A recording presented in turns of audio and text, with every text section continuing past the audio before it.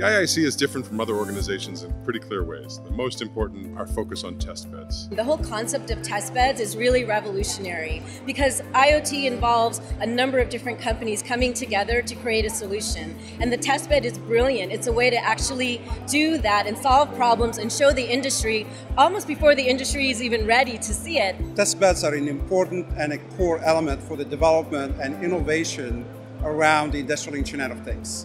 It is an element that provides and brings together companies of all sizes, small, medium, and large, as well as public and private institutions. What uh, IIC has enabled us through this testbed mechanism is to bring the use case, the reference architecture, and the stack together with many a partners to solve these problems. Some of the challenges that the microgrid testbed is looking to address are the challenges of edge communication and processing, uh, coordinated control, and interoperability because no single vendor is going to really approach an entire solution in, uh, in the utility industry. Before we created this test bed, one of the things that we're spending a lot of time on is how to integrate this new Ethernet technology. It's a new technology, it's one that has to be applied in a consistent manner between multiple different vendors. So we needed a good forum to have uh, not only interoperability that happens in various other organizations, but a place we can really put products together and see them work together. The microgrid communication control testbed has three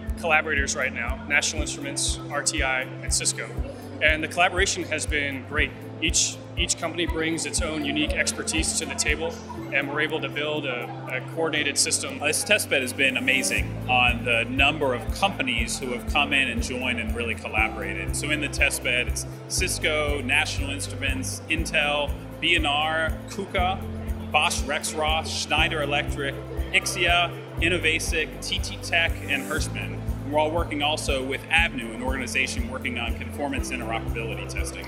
The IIC testbed has helped us build these business bridges to help us to go help end customers do better predictive maintenance for their end machines. So we're taking the actual testbed technologies and deploying them as pilot projects on site at customer facilities. And those pilot projects, once they're successful, then turn into wide deployments. The idea is it makes sense that we need standards for interoperability, but it doesn't make sense to develop standards when you don't know what standards you need.